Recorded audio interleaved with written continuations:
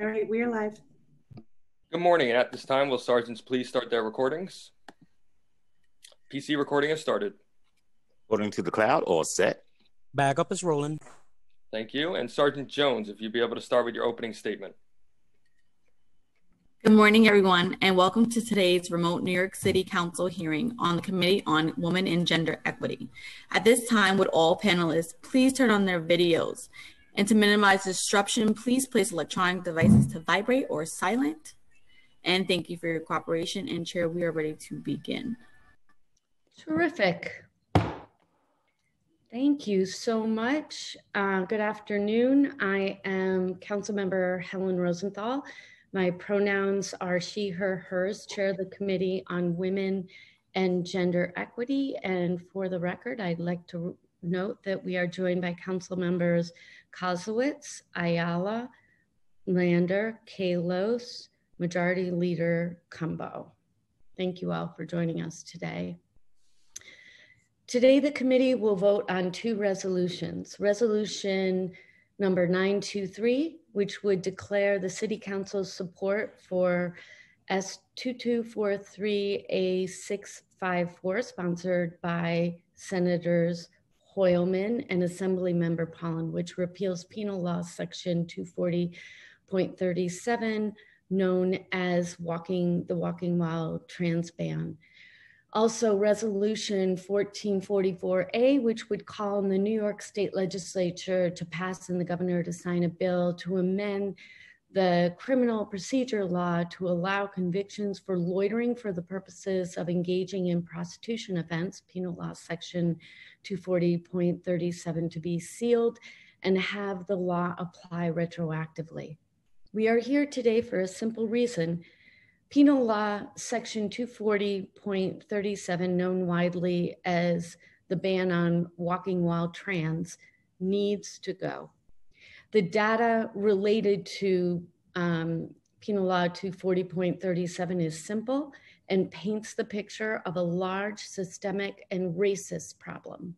In 2018, more than 90% of the arrests involved trans women of color. We already know that trans women in New York City have been targeted for over four decades under this statute that is just too broad. And at last week's hearing on these two resolutions, we heard heartbreaking firsthand accounts of how this law has impacted our, our fellow New Yorkers.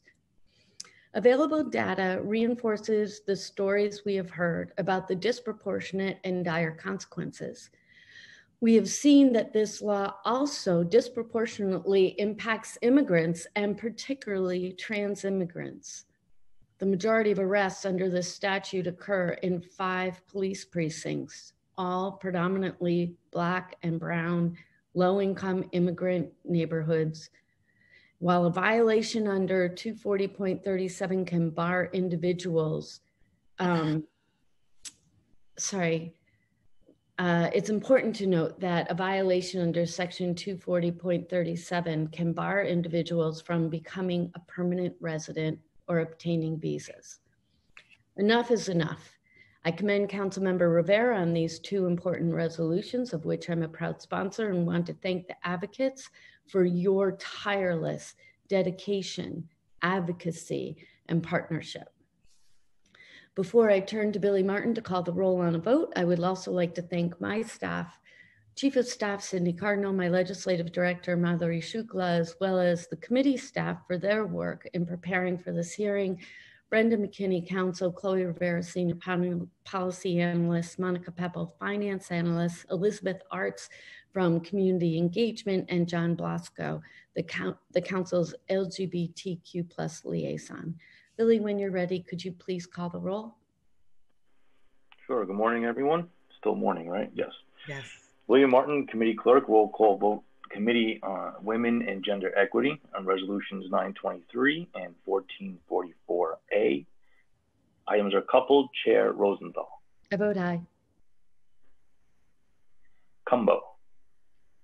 I proudly vote aye, and I want to congratulate Helen Rosenthal on her leadership um, this is historic and certainly extraordinary. Thank you for your leadership, and I proudly vote aye. Kallos.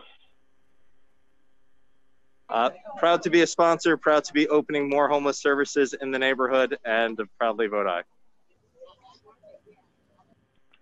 Lander.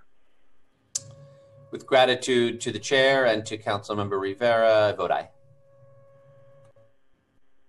Ayala. I vote aye.